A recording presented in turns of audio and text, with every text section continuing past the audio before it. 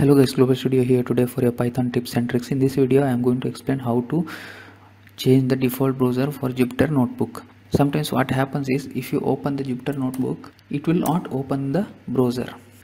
As you can see here, the Jupyter Notebook is not opened in a browser. The problem is very simple here guys.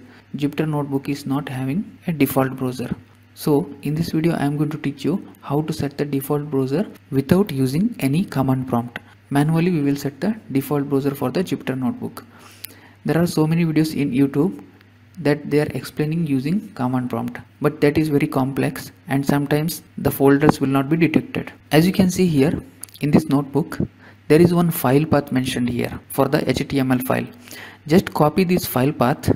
I already copied this file path and go to the folder and search the file path here and click enter then come below you can see here these are all html files. As you can see here the nb servers don't have any default browser. Just right click to this and click to properties. As you can see here i have set microsoft edge as a default browser but my browser got corrupt. I am using windows 8 software that doesn't support microsoft edge new version softwares. Click here to change and select your browser and then click ok. For all the html file is set now type jupyter notebook again enter. Now this should work. As you can see here the jupyter notebook is opened in a browser.